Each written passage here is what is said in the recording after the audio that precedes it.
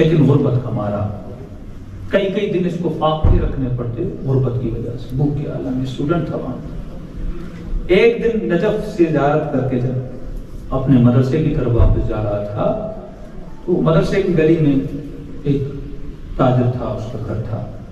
तो इसने एक खातून को देखा, जो उस घर के अंदर गई। अब ज़ाहिर जवान था एक जवान खातून को देखा, एक लड़की को देखा, इसकी निगाह पड़ अब यहाँ पे दर्द सीखिए कि ज़िंदगी में ये सारी चीज़ें हमारे साथ भी होती लेकिन उन चीज़ों को हासिल करने के लिए मुझे कौन सा रास्ता इख्तियार करना है, इस वाक्य में आपको पता चले। लड़की इसको पसंद आ गई। जिस उस्ताद ने इसको पाल के बड़ा किया था उसके पास है उस्ताद जी, मैंने एक खातून को देखा है, मुझे लगता है फला ताजिर की बेटी है, मैं भी जवान हूँ, मेरा दिल भी है कि मैं शादी करूँ, लिहाजा आप मेरी शादी करवाइए, उनके पास रिश्ता लेकर जाए। पहला दर्श ये मिला कि अगर कोई पसंद आ जाए तो डायरेक्ट ना हुआ करो। माँ बाप को बोला करो, उस्ताद को बोला करो। माँ बाप नहीं, मामू को, चाचू को, कोई भी कम्युनिटी का बुज़ुर्ग हो, उसे बोला करो। क्योंकि जब डायरेक्ट हो जाओगे, उसके हया को भी तबाह करोगे। और अपनी तकवा को भी तबाह करोगे पहला कनेक्शन जो रिवायत इस्लामी में वो यही है कि तुम्हें बुज़ुर्गों के ज़रिए से क्या बनाना है कनेक्शन बना यानी कोई पसंद आ गया फ़ौरन व्हाट्सएप पे आपने मैसेज भेज दिया तो कई हजरात और जवान मुझे कहते मौलाना खातून ने सलाम दिया है तो उसका जवाब दूँ कि नहीं दूँ अगले ने का जवाब देना वाजिब है वाजिबात भी लोगों को यहाँ पे याद आ जाते हैं वो जवाब जो तुझे गुमराह बना है जहाँ पर शैतान जहन में जवाब जवाब देना वाजिब है किसी ने कहा मौलाना, मैं खातून से बात करता हूँ पर कोई ऐसी हमारी डिस्कशन कौन सी डिस्कशन होती मौलाना इस्लामिक मिलत मालिक हो, मौलवी हो, यहाँ पे हम मदरसे के मौलवी भी बन जाते हैं अगर किसी खातून से इस्लामिक डिस्कशन करनी होती है।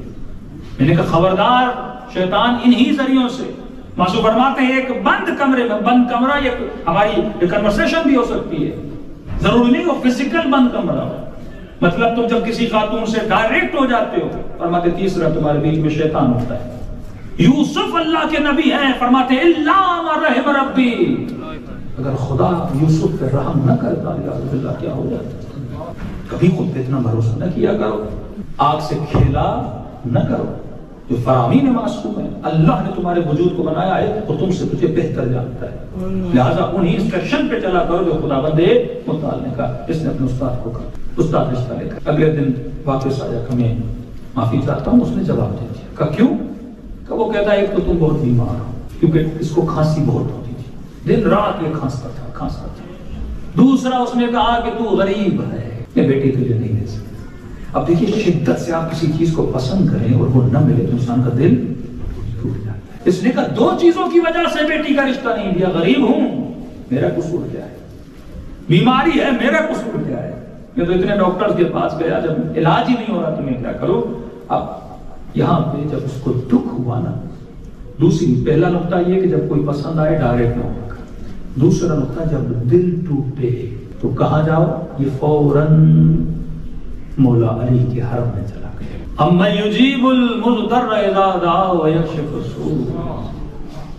व खुदा जो टूटे हुए दिलों की आवाजों को सुनता है। अम्मा युजीबुल खुदा, वो टूटे हुए दिलों की आवाज़ को सुनता है। हमारे क्या होता है? वेस्टर्न वर्ल्ड में क्या होता है? पाकिस्तान में क्या होता है? जब दिल टूटा गाना लगा दिया। रोए जा रहा है रोए जा रहा है। सैड सॉन्ग सुन रहा है। एक बूढ़ा आदमी मुझे कह मौलाना मैं नमाज़ शब भी पढ़ता सब करता हूँ। मौलाना क्या वो रफी मोहम्मद के गाने सुन सकते भाई उसमें ऐसा क्या? मौलाना नहीं, कुछ नहीं होता मुझे। बस एक आदत है जमाने से। वो ज़्यादा वो भी नहीं पढ़ता बड़ी अच्छी शायरी होती है ये होता होता तो मैंने कहा, ये बता, नमाज़ में ज़्यादा सुकून मिलता है या वो रफी साहब में? उसमें बड़ा सुकून मिलता है। एक ऐसा नशा जिसमें लोग गिरफ़्तार है। जब दिल टूटे, हमारा जवान क्या करता है? गाना सुनता है। हुँ? जब दिल टूटता है तो हम क्या करते हैं? नशा करते हैं। शराब पीते हैं, नशा करते हैं। यही होता है ना, जब गम होता है तो गम को भुलाने के लिए क्या करते हैं? शराब पी जाती है। अल्लाह शराब का दुश्मन नहीं है। शराब को खुदा ने क्यों हराम किया? ये भी लॉजिकल है। क्योंकि शराब अक्ल को तबाह कर देती है।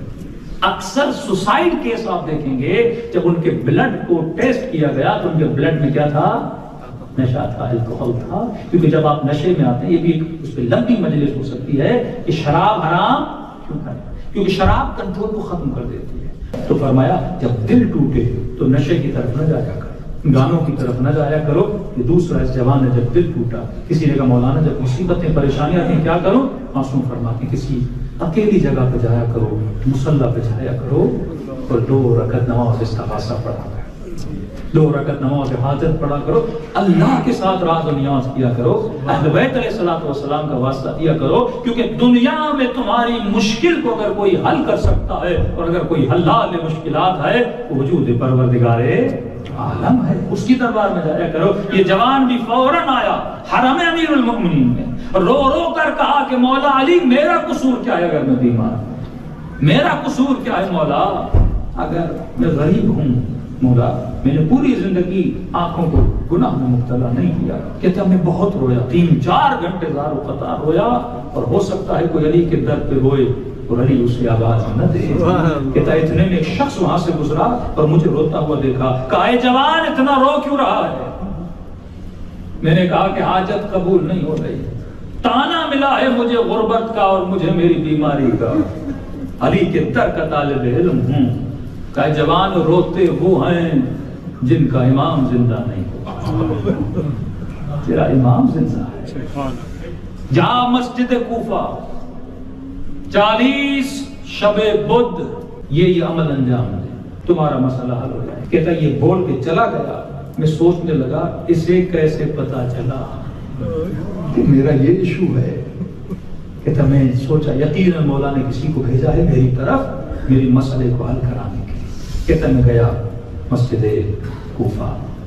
मैंने रोज़े रखना शुरू कर दिया। जब भी शब बुद्ध आती थी वहाँ पे दो रकत नमाज़ इमाम जमाना आप जानते हैं जिसमें या का नाबद या का नस्ताइन वन हंड्रेड टाइम है और ज़िक्र रुकू और ज़िक्र सजदा सेवन टाइम है।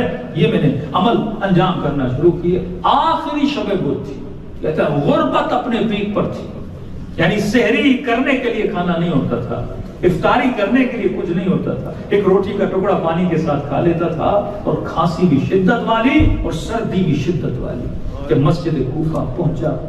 एक छोटा सा रोटी का टुकड़ा अरब कहवा पीते हैं। एक मैंने केटली रखी कहवे वाली, जैसे इफ्तार आ जाए, नमाज़ पढ़ के दो टुकड़े रोटी के, फिर अपनी नमाज़ इमाम जमाना मशहूर हो जाओ और ये आखिरी रात थी, मेरी उम्मीदों की आखिरी रात थी, इमाम जमाना से इल्तजा की आखिरी रात थी, कहता मैंने नमाज़ पढ़ के बस की सख्त सर्दी। और मैं खांसता था, और जब खांसता था तो मुँह से खून आता था। मस्जिद में खून फेंक नहीं सकता था। मैं मस्जिद से बाहर जाता था, वहाँ फिर कुल्ली करता था, फिर वापस आता था, अपनी इबादत में मशहूर होता था। इतने में जब इफ्तारी का वक्त करीब आया मेरे मस्जिद के दरवाजे से एक सैयद को आता सब अबा और कबा में मज़बूत ब्लैक कलर की शाल उसकी कमर में बंधी हुई है। मेरे करीब आया। मैंने कहा यकीन को सैयद है। अब जहन में ख्याल आया। अरब में रिवाज है, जब कोई आपको आता है तो मेहमान नमाज़ होते हैं।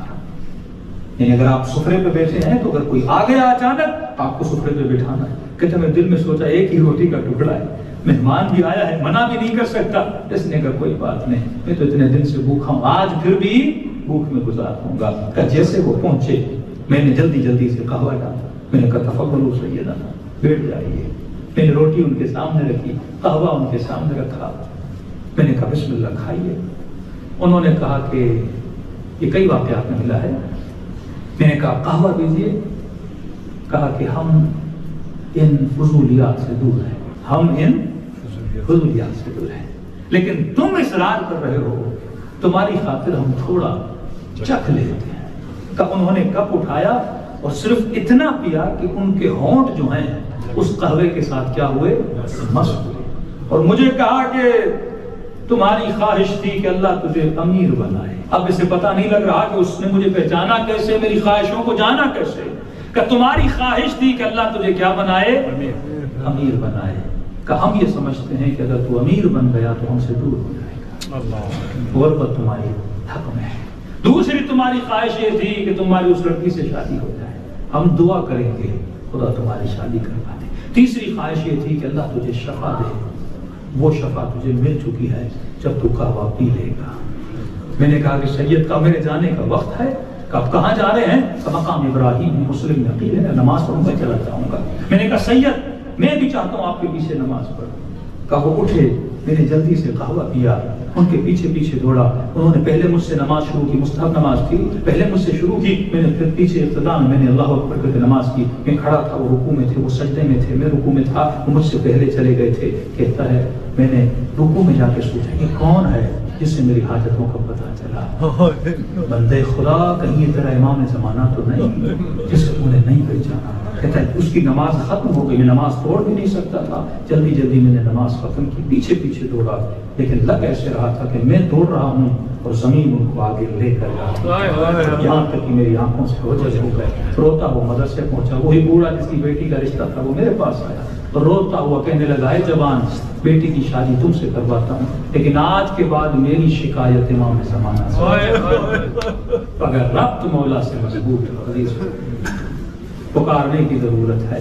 इंसान से इमाम मिलते थे वो हमसे दूर नहीं फरमाते तुम हमसे दूर। दुआ करें परवरदिगारा।